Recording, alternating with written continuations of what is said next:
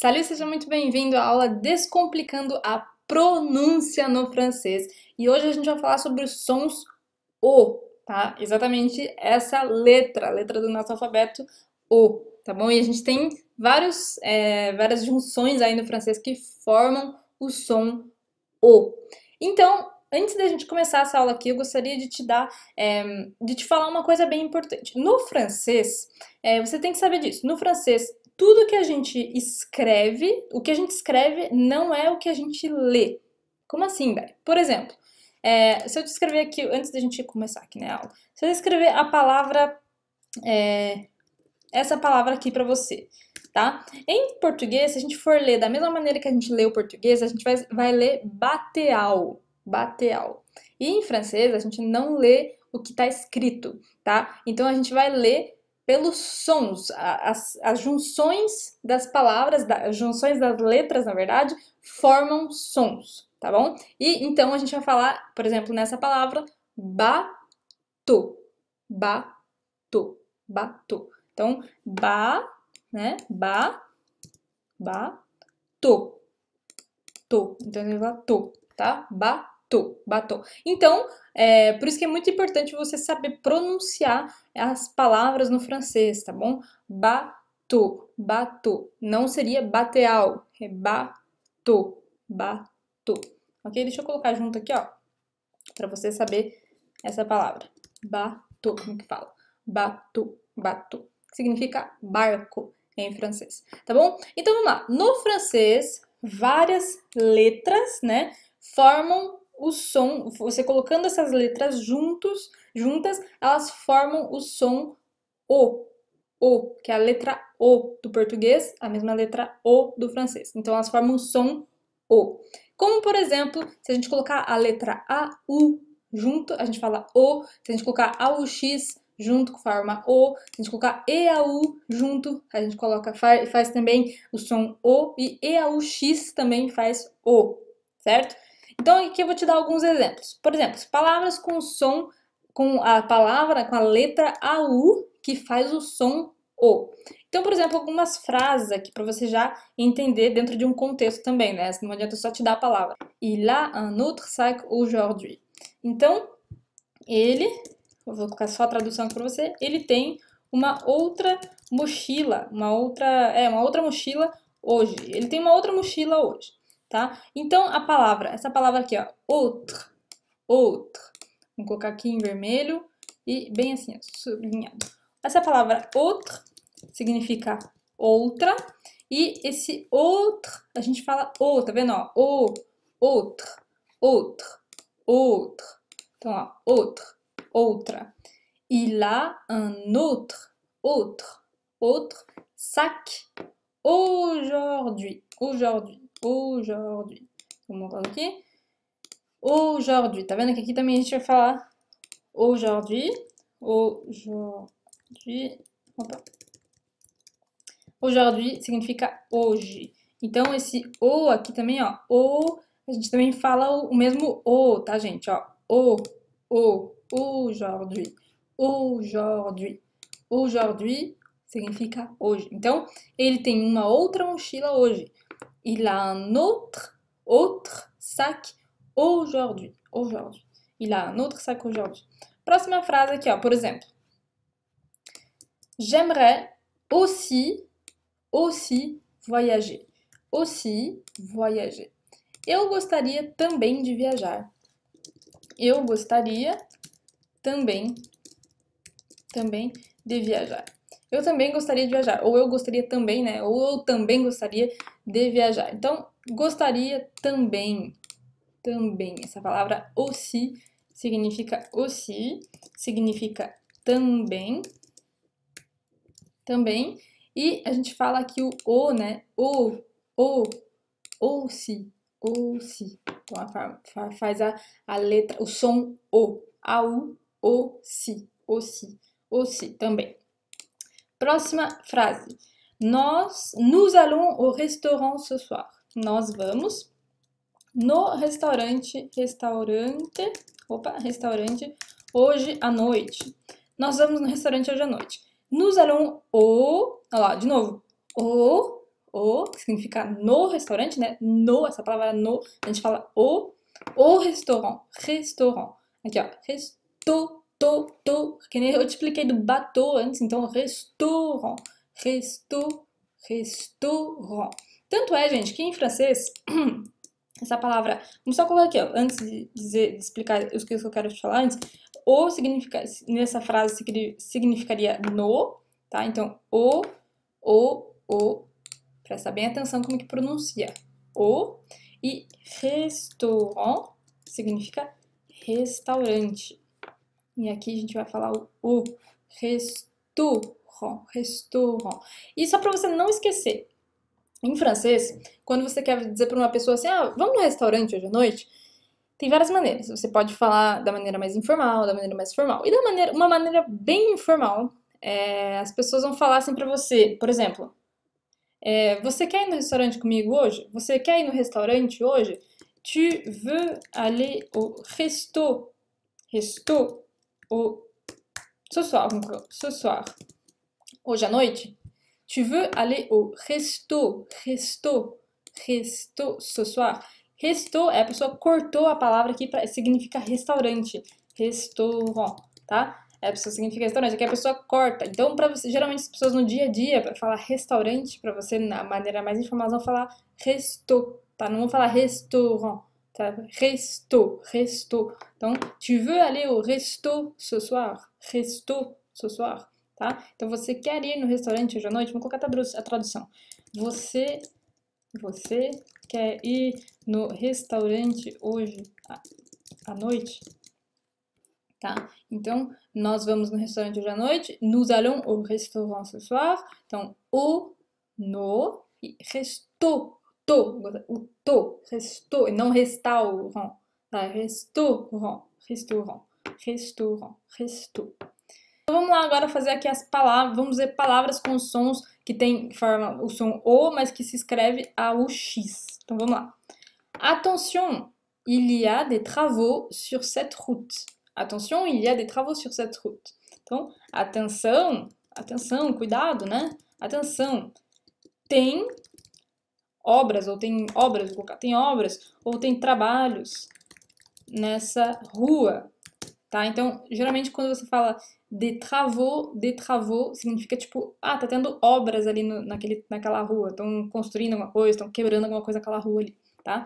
Il y a des travaux sur cette route. Então aqui, ó, travaux, travaux, vamos lá, ó, travaux. Você não fala o X no final, você fala só o O, O, O, tá? Você não pronuncia esse X. Tem gente que, leria, vamos assim, se você ler que nem em português, você leria aqui travaux, mas não faz sentido, tá? Em, em francês a gente fala tra, tra, o R bem puxado, bem na garganta, tra, tra, tra, tra, tra, travou, travou. Então essa frase aqui, ó, você, essa palavra você leria tra, vou colocar até com dois, três R's aqui, ó, travou. Travou, como se estivesse falando travou, ah, travou o computador, que você fala travou o computador, tá bom? É a mesma coisa. Travou, travou, trabalhos, trabalhos, travou, travou. Próxima frase aqui, então, só vamos colocar aqui, ó, que travou, né? Travou significa obras ou trabalhos. Tá bom? Travou, travou. Deixa eu colocar aqui em azul para ficar bonitinho. Não tá em azul igual. Aí. Opa, ainda não tá igual, gente. Calma aí. Travou, travou, travou, travou, travou. Bom? Próxima frase aqui, ó. Aqui, ó. Essa frase tem que tomar bastante cuidado. Olha, ils sont beaux, ils sont beaux tes chevaux. Essa, eu já vou te explicar porque você tem que tomar cuidado com essa frase. Vamos traduzir aqui, ó. Eles são bonitos os teus cavalos. Cavalos. Por que, que a gente já tem que tomar cuidado? Já vou te explicar. Bo, bo, a gente fala bo. Esse E-A-U-X aqui, ó, A-U-X, a gente fala bo. E aqui te chevaux, vo, chevaux, cavalos tá? Vou, chevaux. Isso aqui, cavalos, né? Chevaux. Chevaux. Eles são bonitos os seus cavalos. Então, vamos colocar bo, significa bonitos. E che, chevaux significa cavalos.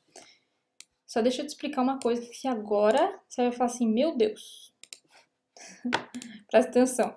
Olha, presta bem atenção. Deixa eu colocar aqui em azul, isso aqui vai ficar bem bonito, gente.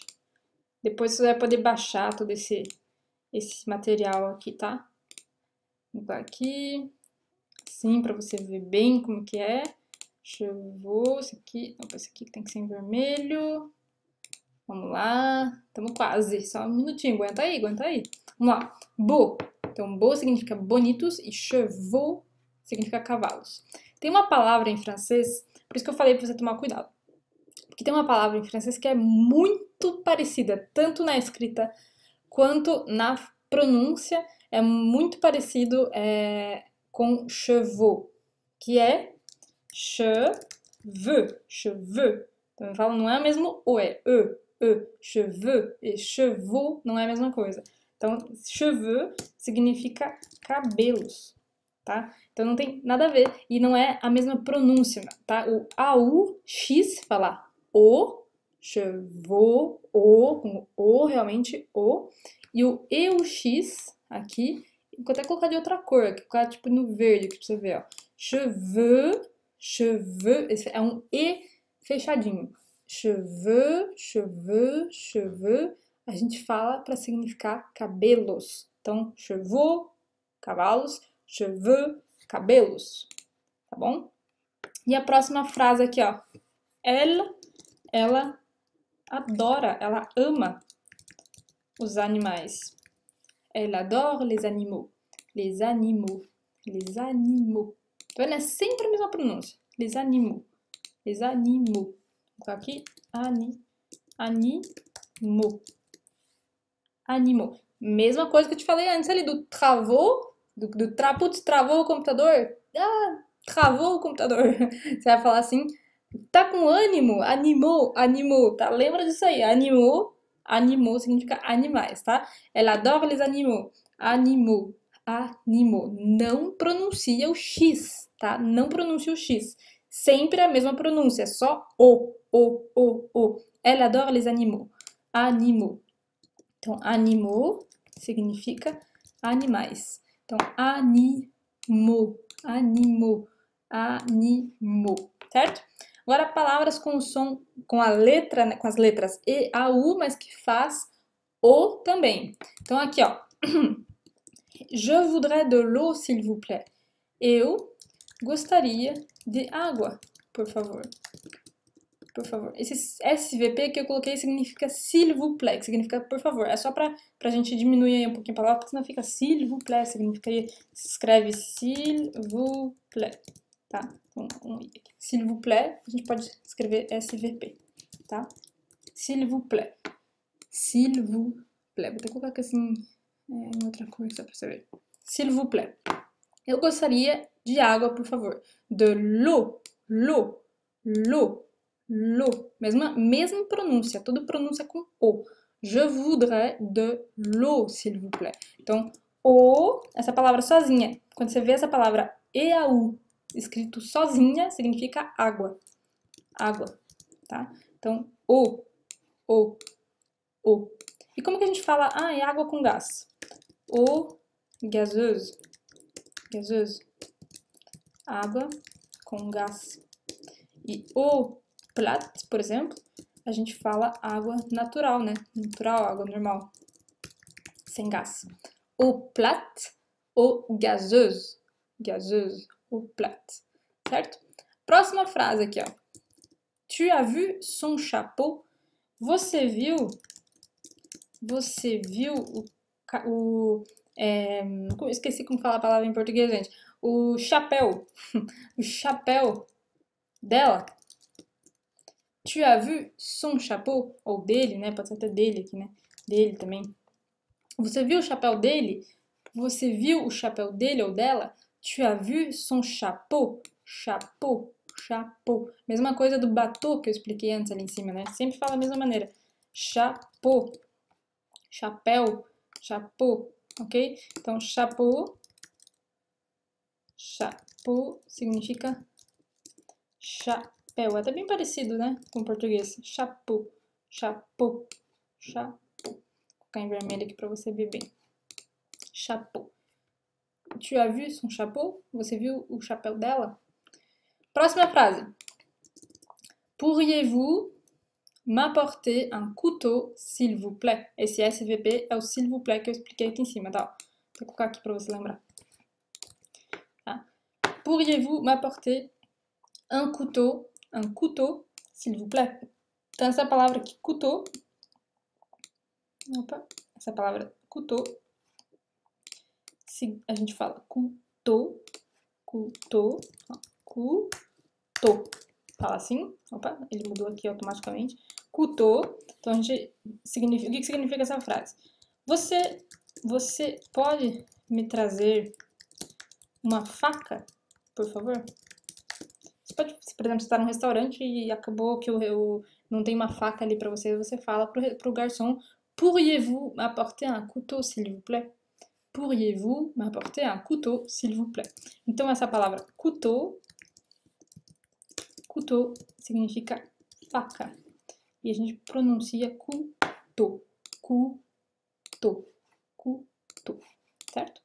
Próxima palavra aqui, exemplo de palavra para você com som O. Il a visité le château de Versailles. Ele visitou o castelo de Versalhes. Você não sabe o castelo de Versalhes é na região de Paris. Um castelo maravilhoso que se você for para Paris você tem que conhecer. É maravilhoso, gente. É, não tem. Eu já fui em vários castelos assim. Viajei bastante é, pela, pela Europa já. Mas olha, sinceramente, eu acho que o castelo mais bonito que eu já vi é o de Versailles. Tem aquele o jardim de Versailles maravilhoso. Nossa, gente, vale muito a pena ir conhecer. Então, il a visité le château de Versailles. Ele visitou o castelo de, de Versalhes. O Versailles, né? Que fala em francês. Então, le château, château, parecido com o couteau. Château, a gente vai falar aqui château, né? Château. Então, aqui a gente fala château. É quando pensa numa pessoa que é chata, você coloca chato, ah, aquele menino é chato. Você vai falar, ele é chateau. ele é chateau. Então, significa chateau, significa castelo. E não, é um falso amigo isso aqui. Chateau, atenção, chateau não significa chato, tá? Chateau. Chateau significa castelo. E não, e não significa chato. Atenção, muita atenção. Chateau, chateau chato, é um falso amigo, é um falso, falso cognato. Chato. Agora, palavras que têm o som de O, mas que terminam ou que, que tem as letras E, A, U, X. Então, por exemplo, primeira frase aqui, Les oiseaux sont magnifiques. Os pássaros, pássaros, ou passarinhos, né? Os pássaros são magníficos. Os pássaros são magníficos. Gente, às vezes eu erro, erro aqui no escrever, porque meu teclado está no francês. E às vezes eu tenho, é, eu escrevo com o teclado em português, e às vezes acaba ficando na minha memória aqui o teclado em é, português. Às vezes eu erro uma tecla ali, mas não tem problema, tá? Os pássaros são magníficos. Les oiseaux, oiseau, oiseau, oiseau. Então aqui, ó, zo, essa Tá vendo? Se a gente fosse ler essa palavra, seria muito complicado se a gente fosse ler como se a gente lê é, em português. Ois e aux. Nossa, ficaria, ficaria horrível nessa palavra. Então, em francês, les oiseaux. Oiseaux. Oiseaux. Vou até escrever aqui como que a gente, a gente fala essa palavra. Oiseaux. Tá? Oiseaux. Oiseaux. Les oiseaux.